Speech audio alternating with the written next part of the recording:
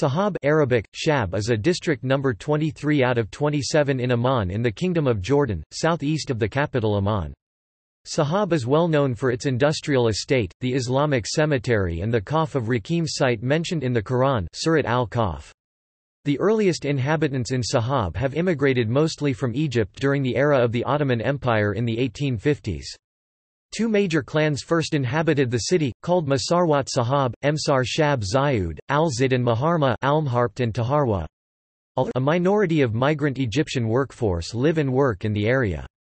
Recently a Chinese workforce started settling in the area working in textile factories in the industrial estate. Topic famous places in Sahab Industrial city of Sahab al-Rakam This place is mentioned in the Holy Book of Quran.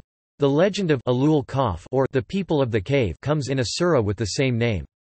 It tells a story about a number of young men who took refuge in a cave place called Al-Rakam near Sahab, after they fled their places of residence fearing the worse would come after embracing and converting to a new religion. After they slept in the cave for 309 years, God woke them, and their cave was discovered by the people of the city who were believers after all that time. Al Tahamawat Industrial City Islamic Cemetery Livestock Market and Auction Totangi Hospital Al Shahid Square topic External links http www.sahabyo.com Sahab City Forums